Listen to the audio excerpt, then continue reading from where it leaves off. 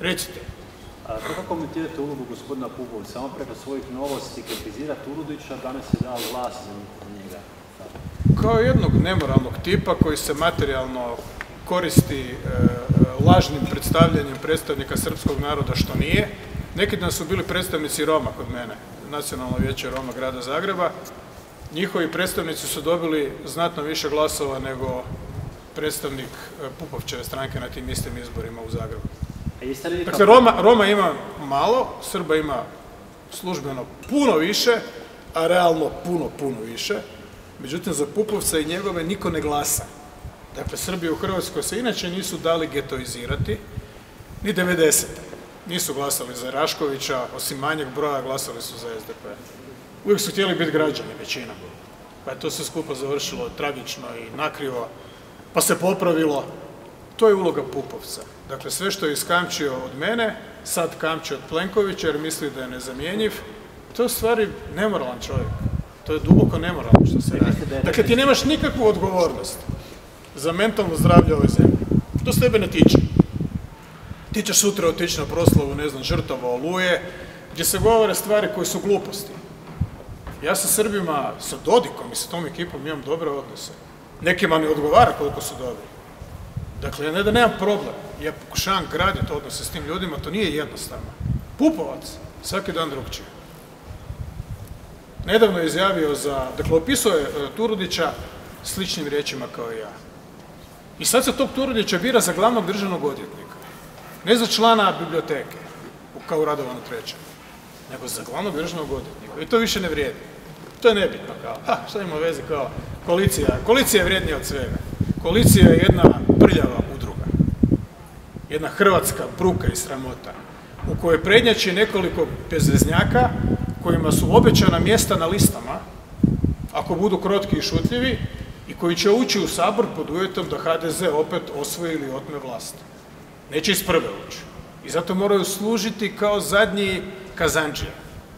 Kao zadnji kazanđije moraju služiti. Dobro, zašto, zašto ste onda gospodinu Pupovcu dodijelili više milijunski prostor u Preradovićeve kao premijerica?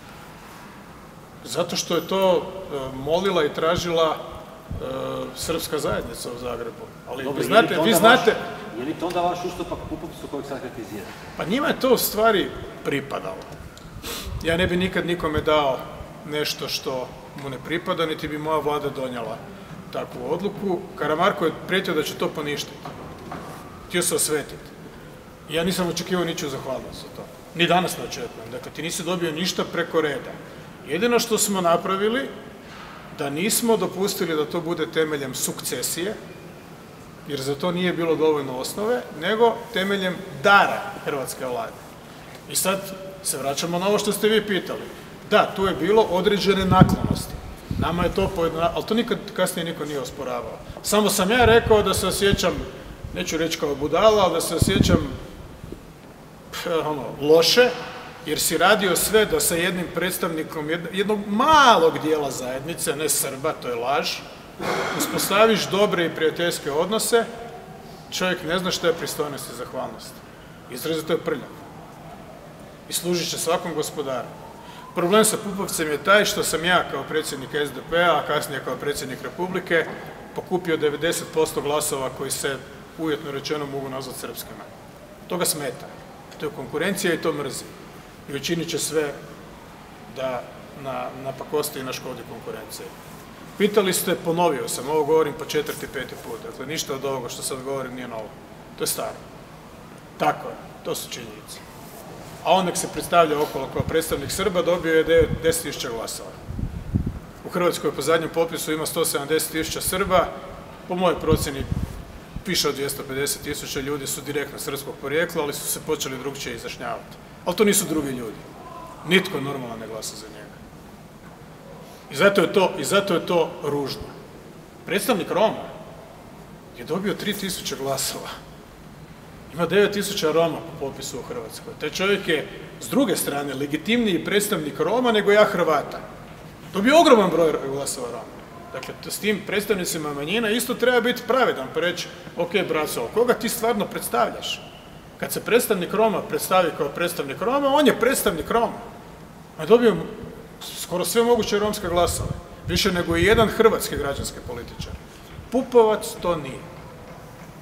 I to je jedna karijera etno biznismena kako ga je efektno nazvao Ivo Josipović, svaka čast, pogodio u sridu, etno biznis. Čovjek koji je okolo ljubi oltare i križe se, a prijesni ateist i tako dalje i tako dalje. Takve prevarante ljude na njuši. Ali njemu zakonski okvir pogoduje tako da je on zaštićena vrsta i da mu ne može niko ništa. Srbi se ne moraju bojati u Hrvatskoj, dakle njima će ovdje biti dobro i bit će im sve bolje i bolje, kogod bio premijer i kogod bio predstavnik Srpske zajednice. Niste samo odgovorili za Nobelovo pismo i Mustafa. Odgovorio sam sve prije godinu dana. Sjeća se, to je onda kad je Plenković Gotovinu proglasio udbaša i rekao je da je potpao pod utjecaj udbaša i da sam ja nagovorio Gotovinu, Rojsa, Čermaka, e, Domazeta, Luku Đanka, ko je tu još bio, još dvojica koji su se utrtarili pa su povukli potpise. To je Plenković rekao za Antu Gotovinu tada.